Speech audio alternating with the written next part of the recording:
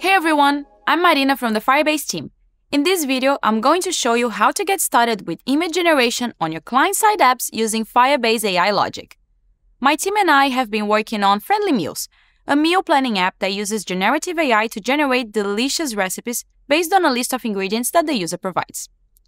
On this screen here, the user can provide a list of ingredients they want to use for the recipe, as well as some notes regarding any dietary restrictions or the type of cuisine they like.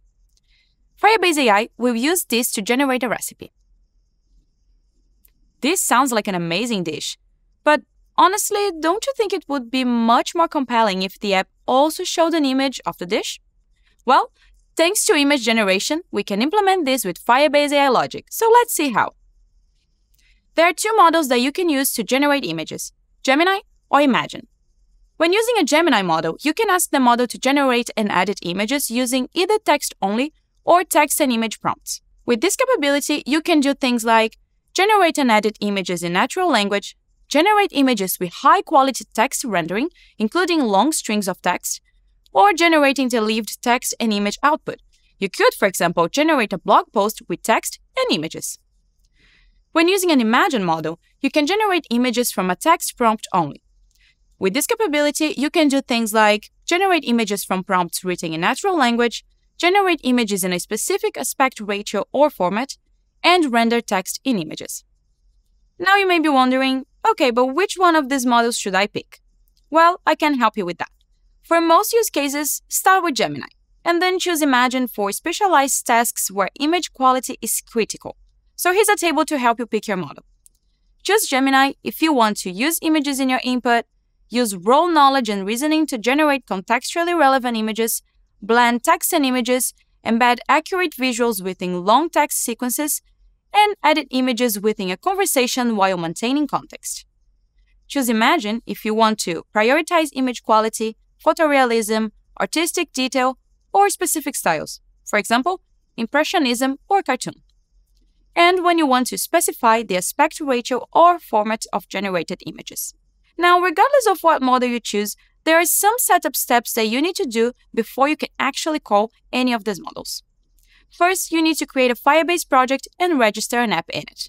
Then you need to enable Firebase AI logic for that project and choose which API you want to use, the Gemini Developer API or the Vertex AI Gemini API. And you can do this in the Firebase console, as you can see here. Both APIs support Gemini and Imagen models, Watch this video to learn more about the difference between these APIs, pricing plans, and all the other offerings available in Firebase AI Logic.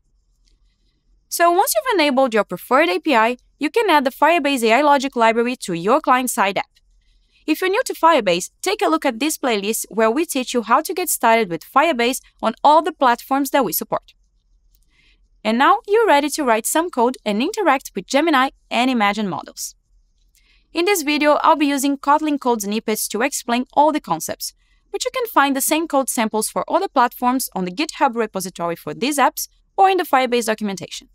I'll leave all the links in the description below.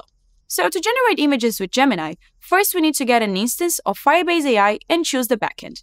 Here we're using the Gemini Developer API. Then we need to specify a Gemini model that supports image generation. Next step is to provide a text prompt instructing the model to generate an image. For this app, we'll ask for a professional food photography shot of the generated recipe and provide some details about the style. The final step is to call the generate content function with the prompt we just created and handle the response with the code we see on screen. To use an Imagen model instead, we choose the backend and create an Imagen model instance, as we can see here. Optionally, you can set up a model configuration to specify things like number of generated images, aspect ratio, and image format. For friendly meals, we just need one image with a square aspect ratio. We also need to provide a text prompt instructing the model to generate an image. We'll use the same prompts we used for the Gemini model sample.